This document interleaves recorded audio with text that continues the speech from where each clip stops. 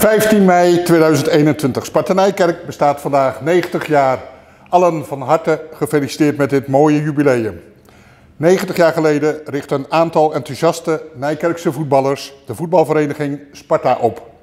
Jan Staal, Dirk Jacobsen, Gijs van der Ridder, Fok van Sloten, Jan van der Ridder, Willem Muis, Eibert en Gerrit Windhouwer, Gerrit van Gelder, Evert van Aller, Jaap Dijkhuizen en Renger Ebbenhorst waren de mannen van het eerste uur. Sparta Nijkerk bestaat dus 90 jaar. Een mooie, nee, een fantastische prestatie. In al die jaren is er heel veel gebeurd. Onze vereniging is in de loop der jaren enorm gegroeid. Momenteel hebben we 1600 leden, van wie er 1100 voetballen. En tegen de 400 vrijwilligers en functionarissen. De organisatie is, door al, is al door voorgaande besturen goed neergezet. We hebben in de loop der jaren een supportersvereniging en een businessclub gekregen. Daarnaast is in diverse stappen de accommodatie uitgebreid, vernieuwd en gerenoveerd. De opening van de Ebbehorst in 1987 was hierbij een grote mijlpaal die destijds nieuwe impulsen gaf aan onze, onze club. En uiteraard hadden we dit jaar op diverse momenten willen stilstaan bij dit jubileum. Echter, door de coronamaatregelen is het niet mogelijk om voor 1 juli met grote groepen bij elkaar te komen. Vandaar dat u deze boodschap als videoboodschap ontvangt. Tezamen met een aantal droneopnamen waarin de historie van onze accommodatie wordt getoond. Eerder deze week werd al als bijlage van de stad Nijkerk een jubileumuitgave van Sparta Nijkerk 90 jaar verspreid. Later dit kalenderjaar, als we hopelijk weer bij elkaar mogen komen, willen we ook nog verder aandacht besteden aan ons jubileum. Eventueel, als dat kan, met een OJK Sparta Nijkerk 90 jaar toernooi. Als ik onze vereniging van een afstandje beschouw, constateer ik dat we als 90-jarigen nog heel vitaal zijn. Er zijn heel veel activiteiten, er is veel enthousiasme en gezelligheid. Is het dan dat of zijn er ook nog uitdagingen? Wat ons betreft zijn er zeker nog uitdagingen. Afgelopen week heeft de ledenvergadering ons voorstel voor het beleidsplan 2021-2025 aangenomen. En daarin staan uitdagingen genoeg. Met Sparta 1 naar de tweede divisie, hogerop met de jeugd, vernieuwing van onze accommodatie, met de vrouwen 1 naar de hoofdklasse, veel seniorenteams die met plezier voetballen en de juiste aandacht voor de breedte sportteams, zodat ook zij zich blijven ontwikkelen in het voetbal. Dat zijn mooie uitdagingen voor een 90-jarige. We gaan nu richting de 100 jaar en het zou mooi zijn als we in de komende 10 jaar een aantal van deze uitdagingen kunnen realiseren. En bij dit voorwoord houdt uiteraard ook een heel groot woord van dank aan diegenen die Sparta Nijkerk hebben gevormd in de afgelopen 90 jaar. Onze voorgangers in de besturen, onze leden, onze trainers en functionarissen. Onze vrijwilligers, onze supporters en onze sponsoren. Zij hebben ertoe bijgedragen dat Sparta Nijkerk is wat het is. Zij hebben bijgedragen aan alle mijlpalen in onze vereniging en aan de bereikte successen. 90 jaar is fantastisch, maar het stopt hier niet. Sparta Nijkerk gaat door, op naar de 100. Dank u wel. Welkom bij VV Sparta Nijkerk, waar het feestje rond het 90-jarig jubileum door de omstandigheden helaas ook achterwege moet blijven. Om in vogelvlucht door de geschiedenis heen te gaan, wandelen we wel graag even met u over de prachtige accommodatie. De iets oudere Spartaan herinnert zich ongetwijfeld deze authentieke boog die vroeger de hoofdingang markeerde. Sparta Nijkerk is al sinds 1948 gevestigd op Luxal en op trainingsavonden en wedstrijddagen is menige Spartaan onder dit monument doorgefietst. Een adembenemende blik op het huidige hoofdveld, maar de oplettende kijker ontwaart boven in beeld tevens de kringloopwinkel. In 1955 werd hier de eerste kantine geopend en tevens een heus kleedkamergebouw in gebruik genomen. Herindeling van de accommodatie of niet, voor Spartanen bleef dit lang het epicentrum van onze vereniging, het kruispunt naar meerdere velden. Deze plek bezit dus eigenlijk een bijzondere status. Ja, het ziet er sinds 2010 strak uit, maar vroeger lag hier het A-veld, beter bekend als het trainingsveld. In het najaar veranderde het toenmalige grasveld in een heuse modderpoel. Het was dan ook niet voor zijn tijd dat op het hedendaagse theeveld kunstgras in gebruik werd genomen. De aanblik van dit veld doet menig Spartaan smelten. Omzoomd door karakteristieke witte bergen lag hier het hoofdveld, waar onder het toeziend oog van honderden toeschouwers menig historisch duel is uitgevochten. Omdat zij weigerden een voet op Sparta Nijkerk grond te zetten, bekeken veel NSC's de wedstrijden vaak vanaf de andere kant van de monumentale sloot. Ook hier werd in 2019 een hypermodern kunstgrasveld in gebruik genomen. Onder leiding van Renger Ebbhorst realiseerde Sparta Nijkerk in 1983 een gloednieuwe accommodatie met fraaie kantine en moderne kleedkamers. Dat het geheel zijn naam kreeg, behoeft geen nader betoog. Tien jaar geleden werd het gebouw overigens nog eens flink uitgebreid met nog meer kleedlokalen en een eigen business home.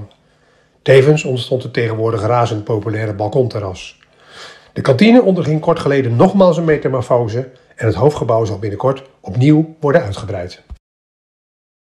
Met de realisatie van de Ebbehorst verhuisde ook het hoofdveld naar een plek voor de kantine. In de loop der jaren werd hier reeds twee keer een kunstgrasmat in gebruik genomen en werden, veelal door zelfwerkzaamheid, zit- en staattribunes gerealiseerd. Verder maken een elektronisch scorebord en moderne dugouts het geheel compleet. Twee jaar geleden werd de oude oefenhoek omgetoverd tot mini-stadion De Kweekvijver, bedoeld voor de jongste Spartaantjes. Deze prachtige faciliteit werd overigens mede mogelijk gemaakt door sponsors en onze eigen supportersvereniging. De explosieve groei van de club betekende dat er jaren geleden al gezocht moest worden naar ruimte voor de aanleg van veel meer velden. Bij Sparta Nijkerk staan deze natuurgrasvelden bekend als het D, E en F-veld. De eerste twee zijn in 2018 overigens grondig gerenoveerd. Zoals gezegd, het plein bij de kringloopwinkel heeft met ingang van vandaag een officiële status op Derborst. Vanaf nu draagt deze plek de naam Perron 31. Oudere Spartanen weten dat hier ooit een treinwagon stond die als woonhuis diende. 31 is een verwijzing naar het oprichtingsjaar van de club. Rond een fraai opgeknapt gebouw worden twee mooie terrassen in gebruik genomen. Wij zijn hier bij elkaar voor de opening van onze nieuwe vaste horecalocatie met terras Perron 31. En we zijn heel blij dat wij dit mogen doen op de dag dat wij 90 jaar bestaan. Een mooi symbool in deze tijd. Er zijn het laatste jaar veel beperkingen geweest, maar op deze bijzondere dag kunnen we een extra horecapunt aan onze mooie accommodatie toevoegen. Voordat we de openingshandeling gaan verrichten, neem ik u eerst even mee naar de totstandkoming van deze extra horecalocatie met terras. In het begin van de coronatijd waren we bezig met de vernieuwing van onze horecavergunning. In het begin liep het allemaal niet zo soepel. Het duurde lang en door een misverstand uh, was onze nieuwe horecavergunning exact gelijk aan de oude. Dat was natuurlijk niet de bedoeling. Onze clubhuisbeheerder Gert Veenhoff heeft toen een gesprek gehad met de behandelend ambtenaar en met nog enig overleg tussen bestuur en BMW kwam onze nieuwe horecavergunning tot stand. En hierin waren ook vergunningen opgenomen voor het continu mogen exporteren van twee terrassen. Eén bij de businessclub aan de andere kant en één hier bij de kringloopwinkel. Een mooie aanwinst dus voor ons als Sparta Nijkerk. Vervolgens hebben we als bestuur besloten om het terras bij de kringloopwinkel ook tot een vast terras om te bouwen. Er stond al een gebouwtje hier, maar dat moest nog wel grondig gerenoveerd worden. En het geheel moest natuurlijk ook horeca-proof zijn en ook het terras moest, nog worden aangelegd. En we hebben de coronatijd benut om dat aan te pakken. Onder coördinatie van Gert en Wim, Gert Veenhoff en Wim van Hussel, heeft een groot aantal vrijwilligers keihard gewerkt om dit voor elkaar te krijgen. En daarnaast waren er ook bijdragen van onze sponsoren. Jullie zien ze daar op het bord. Aan hen allen zeg ik grote dank voor jullie inzet en het harde werk. Fantastisch gedaan en dank jullie wel hiervoor. Toen moesten we natuurlijk nog nadenken over de naam van dit terras. En daarvoor neem ik u even mee in de historie. Vroeger waren de velden A, D, E en F er nog niet. De kantine stond op de plek waar nu de kringloop staat en de kleedkamers lagen ten zuiden daarvan richting de Luxelseweg. Achterlangs liep toen nog een weg die de Luxelseweg verbond met de Bloemendaalseweg. De Nachtegaalsteeg was er toen nog niet en dat waren weilanden. Rond 1970 stond op deze locatie een treinwagon. Het was een treinwagon zonder onderstel, die als een soort woonwagen daar stond en werd bewoond. In mijn herinnering was die op enig moment rood-paars, maar er is ook een foto in groen en zwart bekend. Op basis van deze herinnering en het jubileum vandaag deed ons bestuurslid Algemene Zaken, die ook voor de accommodatie verantwoordelijk is, het voorstel om er perron 31 van te maken. Een mooie verwijzing naar het geboortejaar van onze vereniging en het feit dat de treinwagon ooit hiernaast stond. En vandaag, op onze jubileumdag, gaan we perron 31 openen. En dan bent u natuurlijk allemaal benieuwd wie dat gaat doen. En daar zit ook weer een gedachte achter. En die gedachte zal ik even uitleggen. We hopen natuurlijk dat perron 31 gezien zijn ligging uh, op de zaterdagen en bijzonder de zaterdagmiddagen druk bevolkt zal zijn. En niet alleen met supporters, maar we verwachten ook met name dat onze recreatieve teams hier een plekje gaan vinden. En we hebben daarom Theo Schreur, ons oudspelende lid en nog actief in Spartanijkerk, gevraagd om als vertegenwoordiger en exponent van de recreatieve teams perron 31 te openen. En Theo heeft daarin toegestemd.